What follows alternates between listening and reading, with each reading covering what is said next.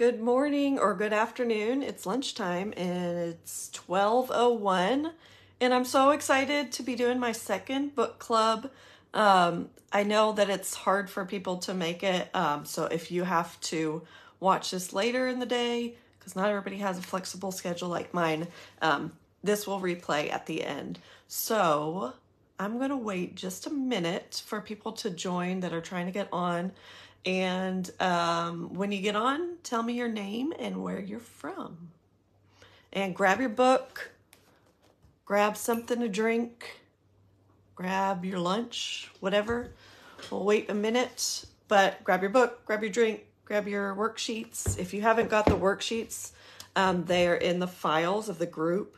I uploaded them this morning. I need to start doing that sooner, so I apologize for the last minute. Um, but yeah, the worksheets are in the files, and next month I'll put them in a day before so you guys have a little bit more of a buffer to get ready. Um, but if you don't have those printed out, that's totally fine. Uh, you can just follow along with me and then even replay the video after you print them out and work your way through them. Last month we did the intentional year and it was pretty blank slate and I walked you through how to fill it out. This one there's not so much to fill out it's more of a organization of the information from the book because there was so much information that was so good. And i really wanted you to be able to take what bonnie gray was teaching and be able to have an actionable um, plan for how to move forward. So these worksheets this month aren't so free form they're very um, structured and organized and it's more like a checklist for you. So i hope they're really helpful for you um, so now that some people are in here, tell me your name and where you're from, and we'll get started in the comments. I see Amanda McCain. Hi, Amanda. And Leslie Johns. Good morning. So, how far did you get in the book? Did you read it at all? Did you like it? Could send me a emoji of what you thought of it. I read this book uh, in the spring, and so there is a soul care quiz that she has created. The author's created, and it's um, it's free and it's a quiz like a personality quiz and so it kind of goes through i don't i think it's like 10 questions or something and ask, you know, what is stressing you out, basically, like the uncluttered house, your schedule, not feeling, you know, like you're enough, all kinds of things. Um, so she does this little 10 question free quiz to see how what shape your soul is in. And so I actually went ahead and retook the quiz this morning. I took it a few months ago, about uh oh, I took it about in the middle of July, I guess. And I went back to those results and I noticed that two of mine were in like the you need to pay attention to these areas and work on them right now, and two areas were like needs attention but not urgent. And then I didn't have anything that was like, you're doing good. And so I thought this morning, I'm going to take that quiz again because six weeks ago, when I finished uh, setting all this up and I started working on these practices, let's see where I'm at now. And I noticed that my score were way lower because I was so much more aware of these tools and the triggers in my life that I just kind of been like not noticing. Um, so I wasn't dealing with them if I wasn't noticing. So my scores now, I've got one area that is you need a little bit of attention here, but it's not urgent. And the other three areas were like, you're doing a good job. And I know that that won't last forever, but that was really insightful for me to start these practices and then retake that test and see if I'd made any progress, which I really had. And when I was taking these questions, I was thinking, oh, I'm this doesn't really bother me. And I know this bothered me before. So I encourage you, if you've taken the quiz, to try these practices, take it again later, and see how you are. And I also know that different seasons, you're going to have different issues. I probably was going through a pain flare up. Um, so my physical uh, wellness score was a lot higher than it is now because I'm not going through that. So go ahead and go back to those as you see fit. So uh, let's see emojis of what you thought of the book. Anybody? Hearts. We got a heart from Amanda. Love the book. Trying to fulfill the tasks every day. Haven't finished it yet, but I will. That's okay. We got a thumbs up. Yes. Thank you. Like the book. I'm glad. And if you haven't finished it, totally fine. So let's dig into. Oh, did you guys take the soul care quiz? Thumbs up if you took the soul care quiz. I put the link in the Facebook group right before I went live. Um, I'd love to know maybe what was an area you'd like to share that was, man, I really got to work on this area. Or if you'd want to share, oh, I'm actually doing really good in this area. What's anything you want to share from the quiz if you have taken it? And then I'm going to flip this camera around, try to do it gracefully, and go through these worksheets with you guys. So I'll give you one sec to respond. Hi, Kelly. Hi, Rhonda. Spiritual. Amanda said hers was spiritual. Both times mine was social, which I thought was interesting. Um, I love people. I love getting out with people, but I feel like as a mom, as a uh, business owner, work from home, uh, I feel like I get in that trap of being too busy and hanging out online for business a lot. And so it was a good reminder that I need to prioritize social time in my schedule. Uh, two people had spiritual. Yes, good. That, thank you for sharing that. Okay, let me get started on these worksheets. If you've got them, get them out. If you don't, you could take notes, just listen, replay, whatever. Hey, Rhonda. Love Rhonda. Okay, let me try to do this gracefully. Right now, you're looking at the ceiling.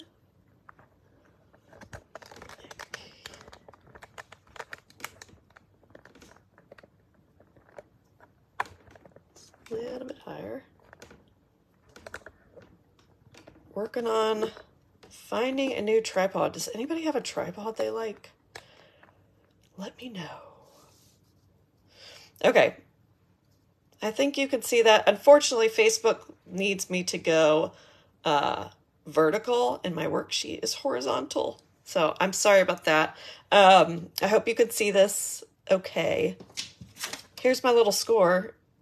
So you could see how I improved in my score. The lower the score, the better emotional, physical, spiritual, social were much higher six weeks ago than they are now. So I wrote that little note. Okay. So let's look here. I want you to take out your worksheets. If you haven't taken the quiz, that's fine. But just, uh, we're going to write down our scores from the quiz.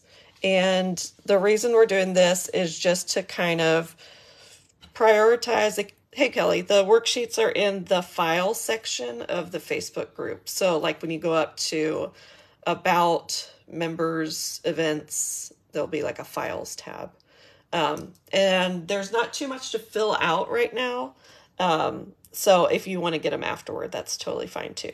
But yeah, you can always pause this and go back and print those Okay, so my soul care, I'm going to actually do what it was six weeks ago on mine.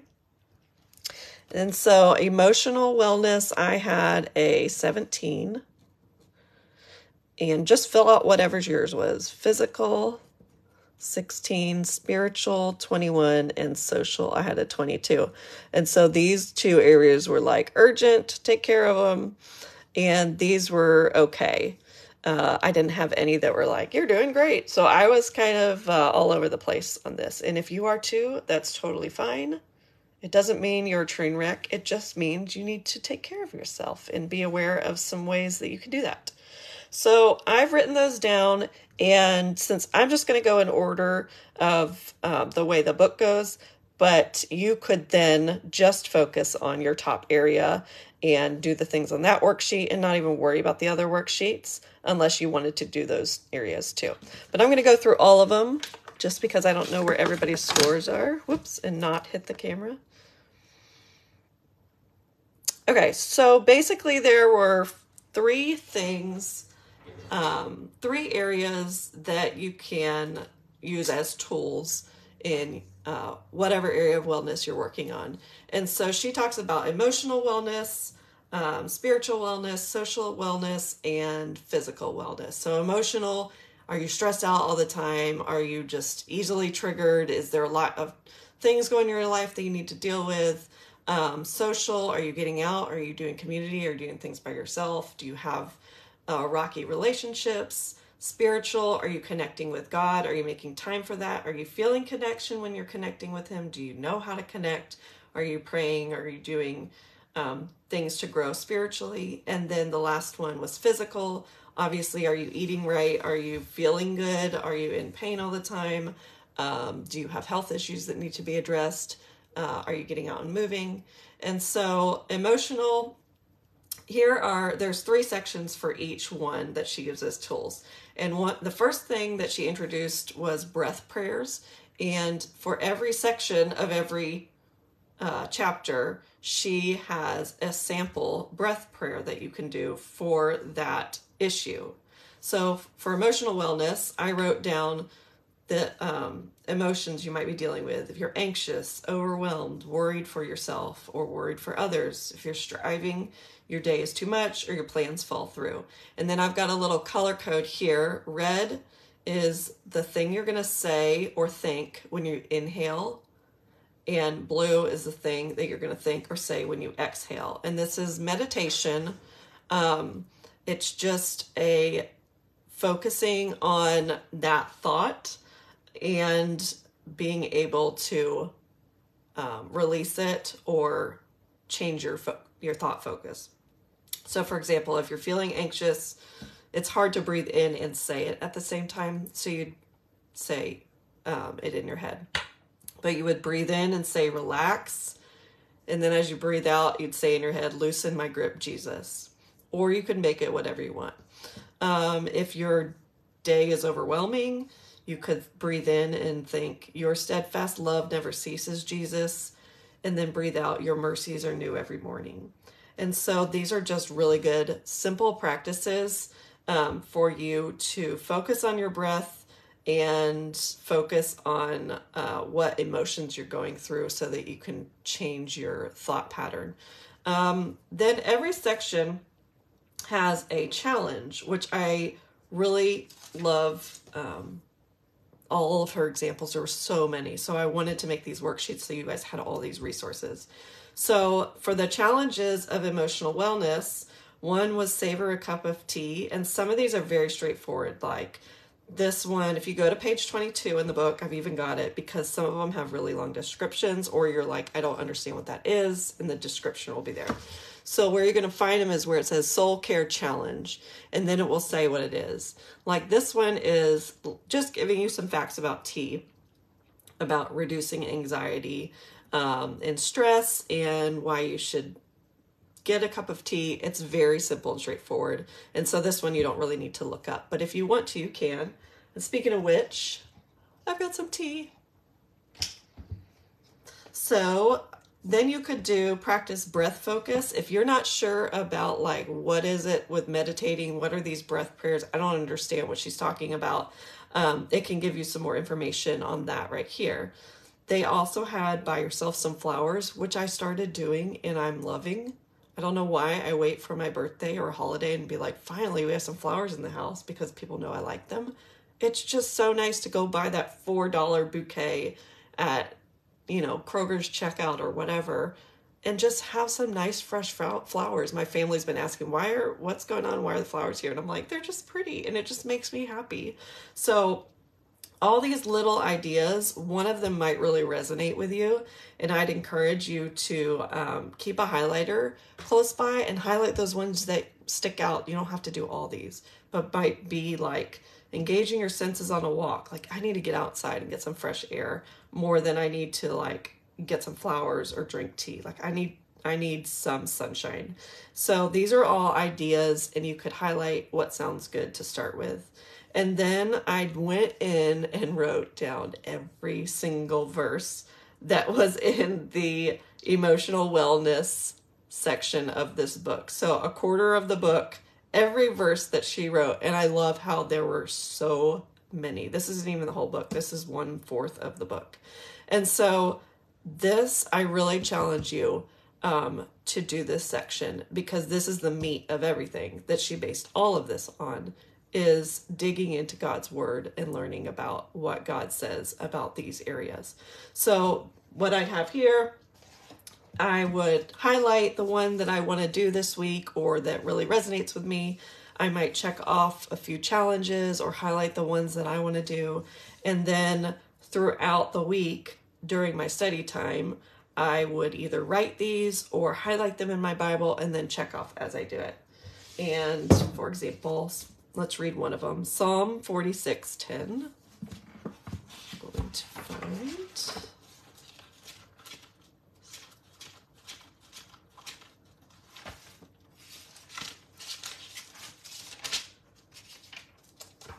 Psalm 46:10. See if you could see this. This Bible's sweet. It actually has this one highlighted for me.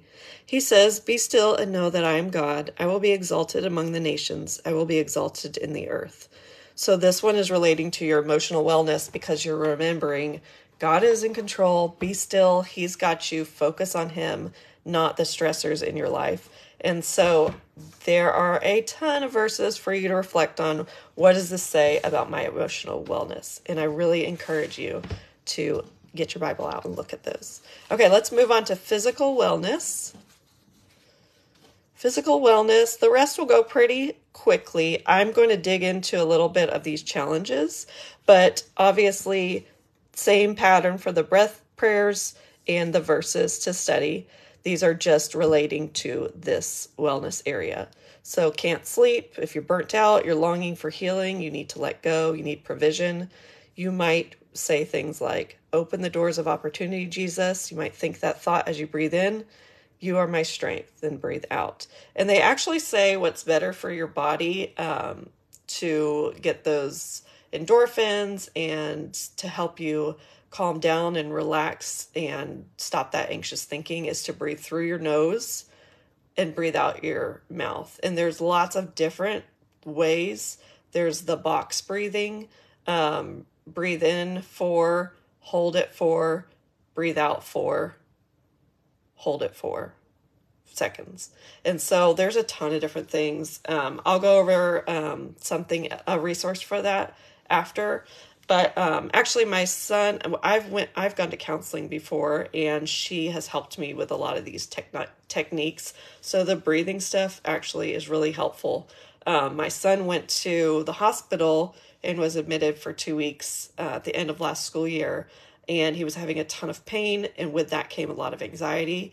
And the very first tool they gave him were these breathing techniques and focusing on positive things and what he wanted and goals and things like that. So it's very similar to what we're talking about in this book.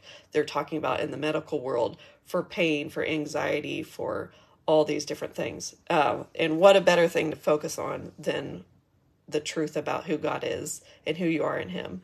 Um, so let's look at the challenges for physical wellness. It says create a stress less stress less rhythm chart, and that when you look in the book is on page seventy four, and that talks about um, like mapping out all the things that you do in your day and color coding them based on your moods to find patterns. That's something else that my counselors recommended, uh, or self help books that I've read in the past have recommended. Just finding those patterns so you can learn more about yourself so that you can move forward and get over those hurdles in your life. Um, take a digital break or creative activity. So maybe you need a digital detox or maybe you just need time to focus on what is it that you love to do. Um, so right here it says research shows creative activity activities like art, photography, playing music, or even gardening help you relax, lower your stress, and leave you feeling mentally clear and calm. And I'll even say I'm a terrible gardener. I can't keep anything alive, but being out in the garden still relaxes me, unless it's 110 degrees like it is today. But just find those things that even if you're not good at, you're like, this feels good. Like I like drawing and I cannot draw, but it makes me feel calm. Whatever those things are, learn about yourself, dig into them. Um, practice stop. This is a, a tool for when you're having panic attacks or anxiety. Um, it says to, it's from the um, oh, what's it called? The stress. Uh, oh, goodness. I'm having a brain fart. It's called by that mindfulness stress reduction. I can't think of the word. Either way, the technique to help. It's one of those mindfulness strategies that are really famous, and I'm having a brain fart right now. S is for stop, pause momentarily. T is for take a breath, reconnect with the rhythms of your breathing. Observe is O. How do you feel? Do a body scan. P is proceed, take action. So you're not just like in the moment going, going, going, and just in a panic. You're taking a minute to stop, breathe, and check in with where you are and what you're going to do about it. Uh, sorry for my non medical or technical wording that I've got. This is not my expertise, which is why I'm learning about it with you.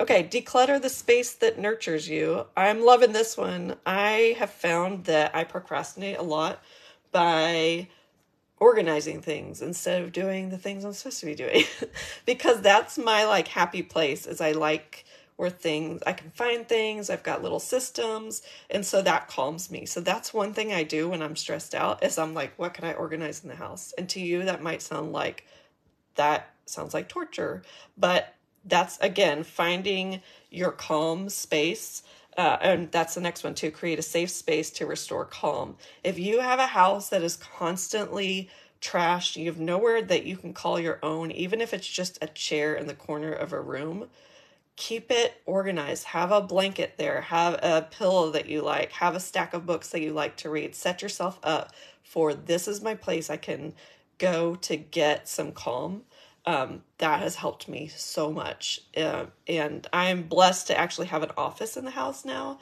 And I've never had an office in our house. And we've been married 17 years, I guess, since our kids were born. I did have room before the kids were born. But for the past 12 years, I've never had a place where I could close the door. And that has been amazing. But that didn't stop me from having my own space. I've used closets that I've taken the door off of and turned it into like a little tiny office area. I have used corners of our bedroom. Find some kind of spot that you can claim as yours for your calm, safe spot to restore yourself, especially if you're having physical issues. You've got to have that physical space. Okay, enough about that one. Let's go on to spiritual wellness, which I know a lot of you said that was your high area. So, in spiritual wellness, we've got breath prayers for critical thoughts, stress that steals your joy when you can't see the next step, for blessings, groans deeper than words. I have been there. I'm sure you have too. Longing for emotional healing. I have been there too. Spiritual wellness is so important and so complicated, and any tools that we can get are are well are much appreciated in my life. Um, so, for example, let's think this is too much for me.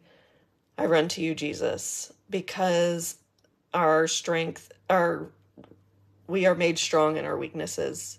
Um, and so this is one of those reminders that we find Jesus in our hardships a lot of times. And sometimes we forget that. We just think this is hard and I want it done with. And while it is hard and while it's okay to want it done with, we need to recognize Jesus is still on the throne or in with you in that moment. So these help you focus on just seeking that peace in him because sometimes things are so out of control that there's nothing we can do except rely on him and that's where our true peace comes in healing um, longing for emotional healing give me courage to heal jesus carry my pain. Um, blessings, something about being critical and cynical and just frustrated with life, showing yourself all the things in your life that are blessings or practicing gratitude. Um, I have a gratitude journal because I've been there. Uh, blessings, you could say or breathe in, You have been good to me, Lord. And then breathe out, Thank you for, and then name your blessings. Inhale, a blessing. Exhale a blessing, inhale a blessing, exhale a blessing. Just use this as a time to meditate on your blessings. Okay, so here's some challenges. Journal for 10 minutes, make something with your hands, practice even breathing, nurture laughter, pursed lip breathing to relieve pain, and listen to jazz or classical music. I listen to jazz and classical music all the time when I'm working because it puts me in the zone to just like relax and focus. And um, something about just that calm of sounds. You can have calm with smells, with candles. That's helped me as well. You can have calm with touch. When your spouse gets home, then you immediately go and give them a hug and kiss. When your kids get home, you give them hugs and kiss. You got a pet, you're petting the pet. All your senses, tap into those senses. Um, and then all these verses, let's look up another verse while we're here. Psalm 1835. Let's see here. And then I will go over the last section. 1835. It says, try not to hit this camera.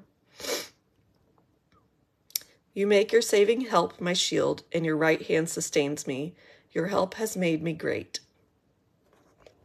So you would check off that verse or highlight it or write it and work your way through as a daily Bible study or however you want to tackle this.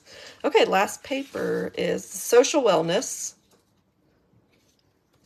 What if you're wondering how to if this is sounding too much, but you want to tackle a little bit of every section, what I did, I did not do everything in this. Uh, what I did was I went through and did the things that kind of spoke to me. So maybe there were like two breath prayers in each section I felt like resonated with me. And so I would work on those. Or there were two challenges I wanted to try and I would do those. And then make sure you, I would really encourage you. I know it's a lot, but if this is an area you struggle with, then it needs to be a priority that you're getting into the word. So I really encourage you to do all the verses and then pick a few breath prayers and challenges that can kind of be your anchor for those verses. So, uh, breath prayers for social wellness, relational detox, needing a friend, God's promises, and regret. So, you might have friendships that are not healthy. You might be seeking friends, um, all kinds of things that you can do on this one. Thank you for being my friend, Jesus. Inhale. Give me courage to nurture friendships. Exhale. The challenges that it mentioned is look at a photo of a happy memory, schedule coffee with a friend, and show kindness, help someone, and smile. And these, um, it they're really really good explanations of the scientific the science behind some of these things. Even it gets into the science of smiling, like what that does to your brain. Um, and the photo of a happy memory, it talks about how your brain sometimes thinks that when you're experiencing that moment just by remembering the memory is the same as if you were actually with that person in that point. So there's so much um, information in this book uh, encouragement, science, all kinds of stuff that I'm not an expert at, but she is. And I really, really enjoyed the book, and I hope you did too. Let's grab one more verse before we head on out Psalm 27 10. I'm just picking Psalms because I'm already in Psalms. 2710.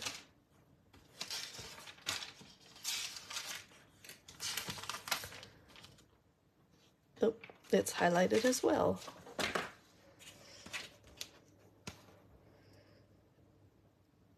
Though my father and mother forsake me, the Lord will receive me. And the reason that one's in here is because this is about social wellness. So it's about relationships. So you might have a bad relationship with someone, and that could apply to this verse and how the Lord will always receive you, even if others forsake you. Okay, the last thing I want to talk about is um, well, first of all, uh, anybody have any questions? I just went over a ton of information, and you might be like, wait, what? any technical questions or book questions or worksheet questions before I move on?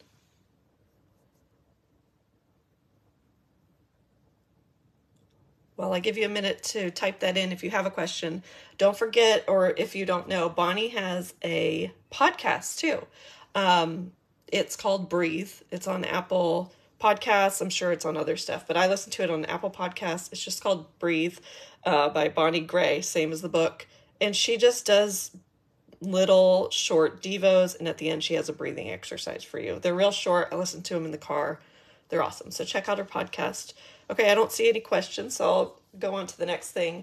Um, I did want to mention several people have brought this up to me, and I got this in the mail Breath as Prayer. This book is very similar. The book we just read is a lot of um, the why and how to, and this Breath as Prayer is just breath prayers. So it is really cool in that it's basically um, a devotional for 85 days.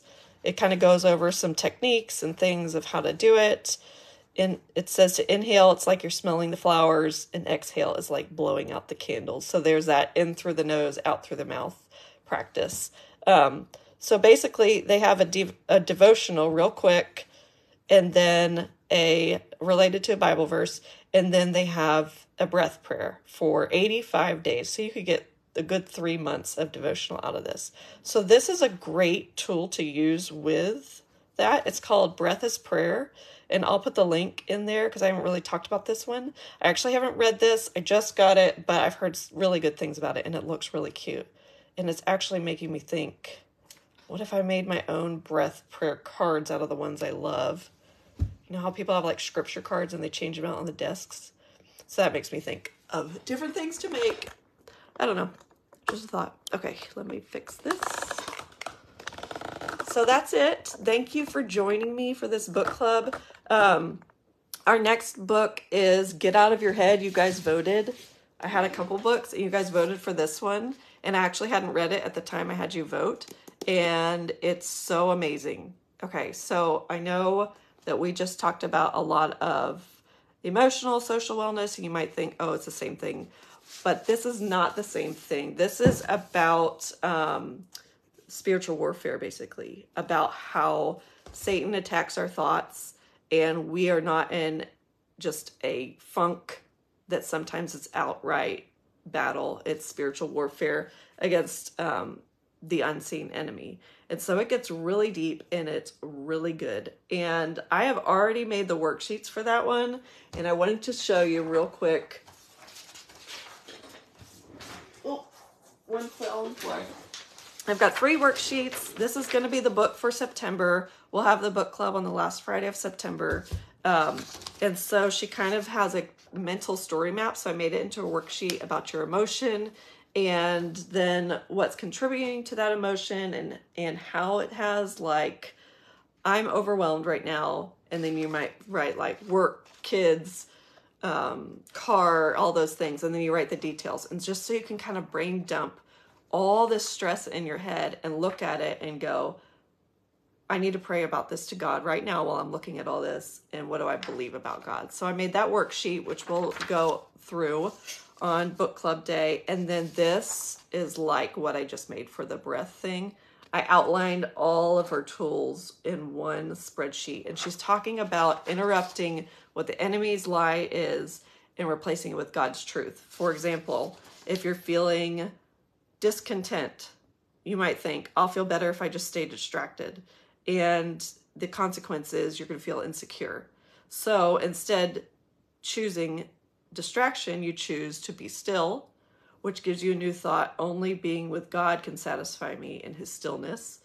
And then you feel more secure. And so we'll go through all that, and that'll make a lot more sense. But I've got a major cheat sheet you're going to want to grab.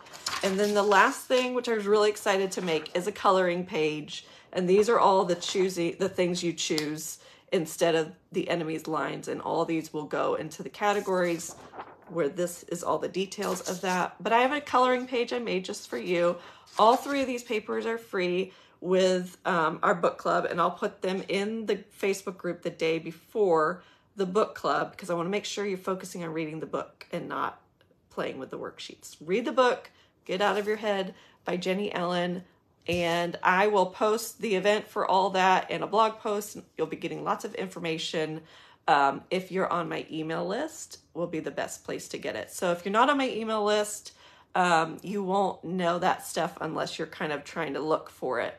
But the email will come straight to you with all the information. That's amysenter.com forward slash subscribe, and I'll send you all the information. Right now, all you need to do is get this book and read it. And I will see you next month at the last Friday and we'll talk about it and get all your freebies.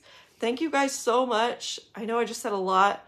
I'm sure forgetting something and over talking about something else. I love you guys. I hope you have a great weekend and drop any questions you have. I'll try to put every link of every thought I've ever had. No, I'm just kidding. Love you guys. Have a good weekend. Bye.